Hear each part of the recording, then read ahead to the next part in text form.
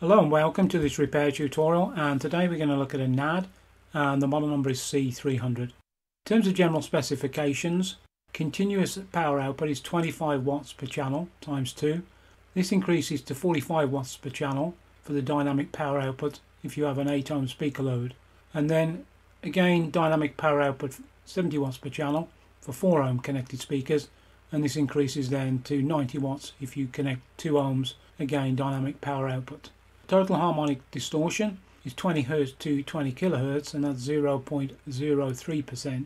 And then input sensitivity for your disc, CD, video, aux tuner tape 1 and tape 2 is 200 millivolts with an impedance of 20 kiloohms. As in many amplifiers you have the ability to turn off the tone control circuit so that is via the tone defeat switch at the front.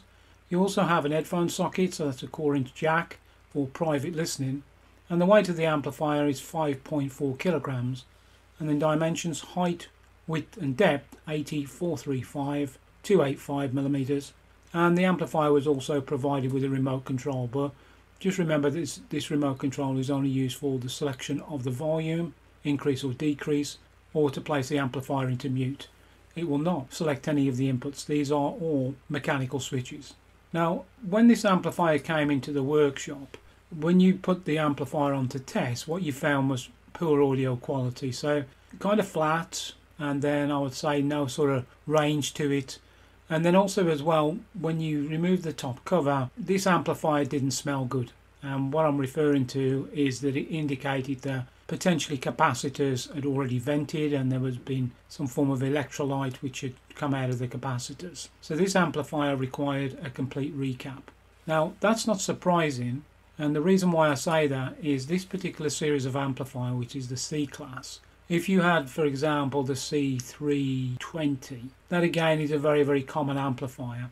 And then what you find is, and what you can see now, what I'm showing you, this is the startup circuit board. And what you can see, and what I'm indicating, is one of the capacitors which is vented.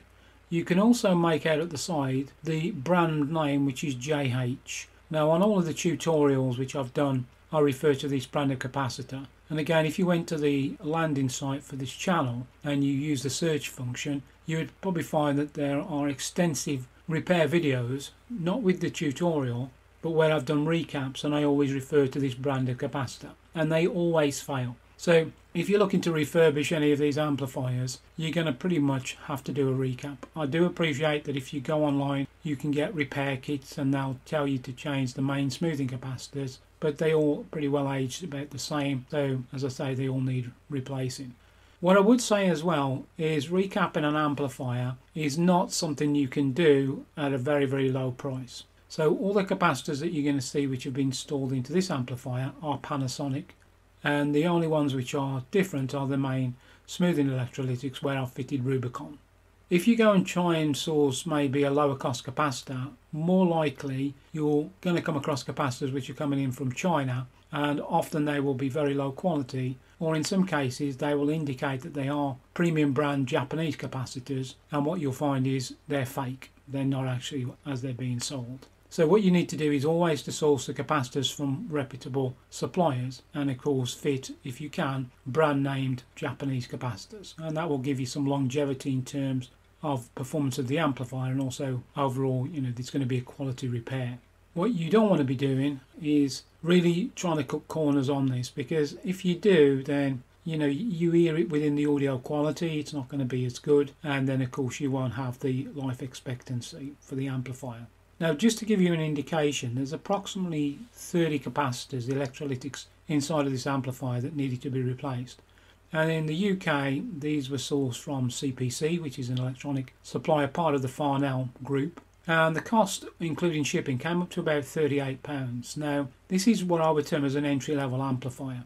So, if you take the cost of the components and then you add in your own labour cost, you could come to the point where it's just not cost effective. And you sometimes get that. For myself, I get contacted by people and they'll ask like to recap an amplifier, and I'm quite happy to do that but normally they're driven more around sentimental value of the amplifier. So the cost of the parts and the labour really doesn't come into it.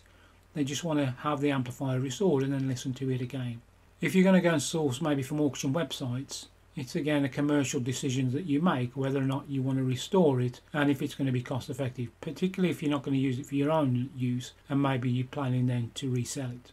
So what you can see next, this is that circuit board which you saw a moment ago. And what you find there is the bridge rectifiers, the electrolytic smoothing capacitors, and then what you'll also see as well is the solder side of the board, which you see here. And what I've done is you can see some of the capacitor leads on one of the electrolytics hasn't been cut off yet. The reason why I'm showing you the solder side, if this amplifier is dating back to, you know, sort of 1999, 2000 or 2001, you need to look at all of the solder joints because most of them which have stress or they are heat related components which are dissipating heat you will always get dry joints and we'll see that later as we go through. So as with all of these amplifiers you have this service hatch. So there's a series of screws that you remove and then once you've done that what you can now see is the solder side of the circuit board. And as always and I always mention this you do need to inspect all of these solder joints and then what I've done next is I've just simply removed from the circuit board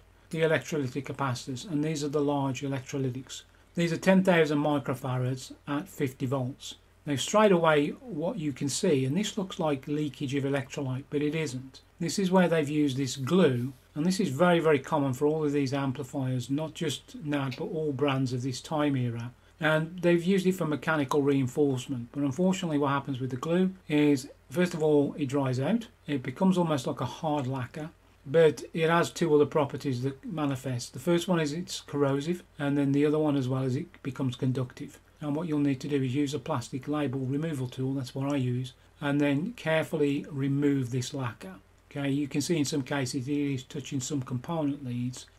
And then what I'm showing you and what I've circled is one of the dry joints. So this is on a power component on the amplifier board and what you can see is it has become discoloured and there's also cracking around there.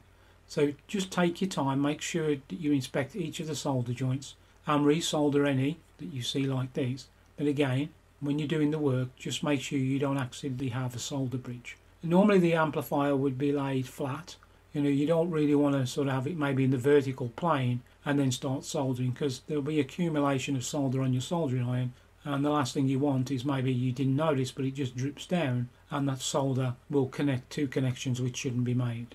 Now when you do the recapping I always say this is make the time and take the time. It's something that you do not want to rush. The first thing that you've got to do of course is to remove the capacitor but when you install the new capacitor you need to make sure of a number of things. First of all, the polarity, and it will be marked on the circuit board which one is the negative, and you need to make sure that it goes in correctly. The other thing that you need to be aware of as well when you're doing this is once you've completed all of the recap, you need to check each one of those capacitors just to make sure that you didn't accidentally insert any capacitor the wrong way around. The other thing is as well is that within this amplifier, like many amplifiers, you have the value in microfarads of the capacitor and then you have the voltage rating. Now for cost reasons, of course, what they would do is if the circuit didn't require maybe a 47 microfarad capacitor at 50 volts and maybe only required to be 16 volts, that's what they fitted. If you go like for like, voltage matching the original, you could accidentally get some of those capacitors mixed up. For myself, if a capacitor maybe is rated at 63 volts, modern day capacitors are often smaller than the original, so there's no issue then to fit them in. But just be careful. And then the other part is, if for example you have 4.7 microfarad capacitor and you have 47 microfarad capacitors, again you may accidentally mix them up, so just verify that you've got the correct capacitor and what you're fitting. Now on this amplifier, what you have are these preamp modules and you would have seen that earlier when we had the overview part just after the introduction in the video. You what you can see are these sort of compartments which are mounted vertically and inside of there are these preamp modules and one of course for each channel. The reason why I'm highlighting is that there are two electrolytic capacitors on there and they're quite small but you will need to replace them because they're the same brand and of course they will have deteriorated. And then what you have is just a single fixing screw and you can just see to the right hand side there's a small metal heatsink and what that does is it just clamps those two power transistors via an insulating washer to the metal casing that this module slides into. And then this is the solder side of course and again what you need to do is just to verify that none of those solder joints are bad. If they are, you know what to do. You have to resolder and make sure that you check in even the pins and then also the individual connections. And then these are the new electrolytic capacitors. Now, for any of you who have eagle eyes, what you'll actually notice is there is an error. And the error here is, is that those capacitors have been incorrectly installed the wrong way around. Now that's on me, right? So I, I, was aware of it. So when I turned the board over, I quickly had a look and I could see, oh, and I made a mistake and I popped them in the wrong way around.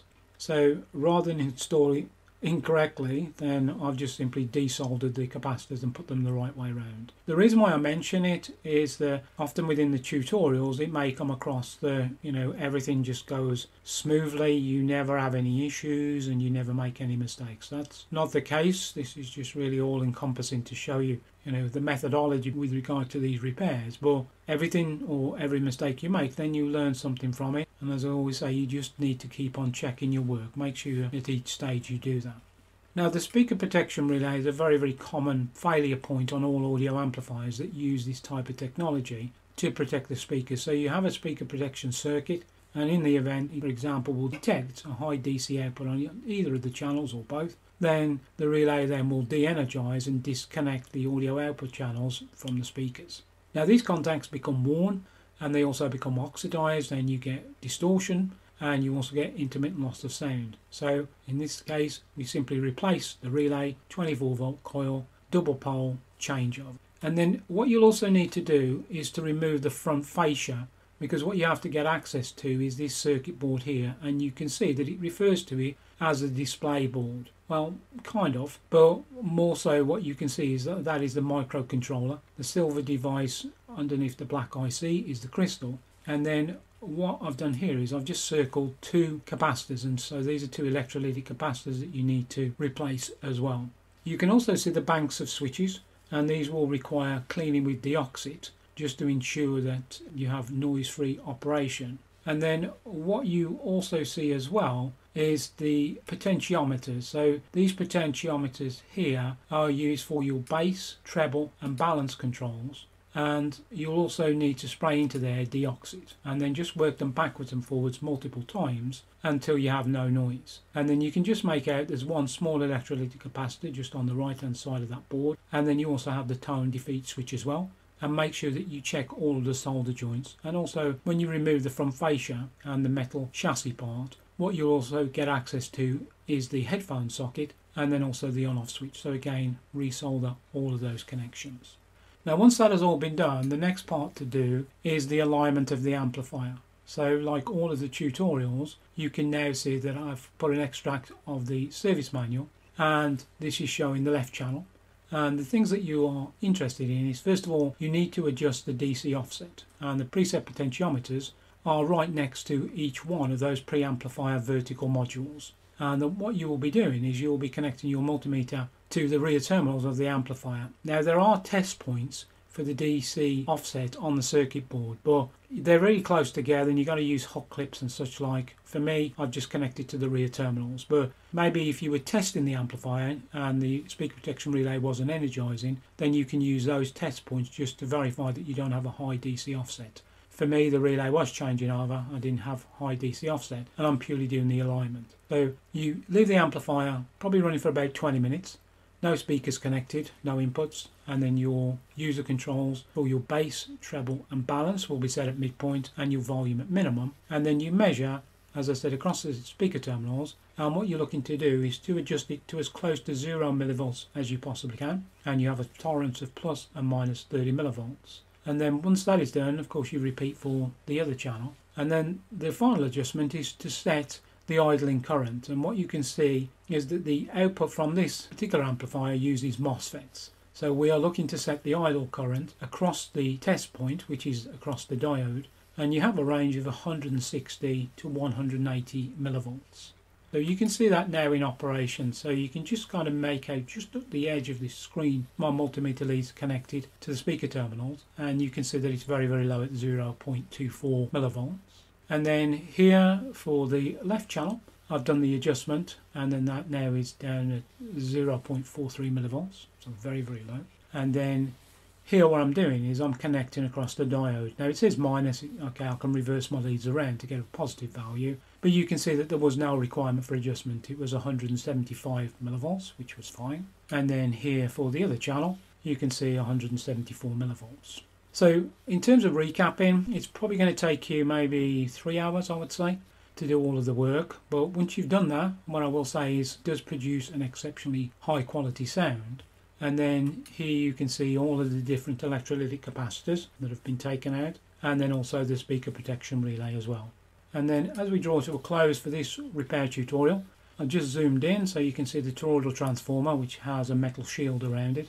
And just to the rear of the amplifier you can see the brand new Panasonic capacitors installed. Also as well the circuit board was cleaned as you can see here because there's quite a lot of residue on there. And then the amplifier of course is put into test and it will probably run for about four hours as I said in many of the tutorials and then once that is done then the amplifier of course can then be boxed and then returned back to the customer. So I really appreciate you stopping by and if you need any help, assistance or guidance by all means email audio amplifier servicing at aol.com and I'll be happy to come back to you and provide any support that you may require. So until the next time I wish you all the very best. Cheers and bye bye.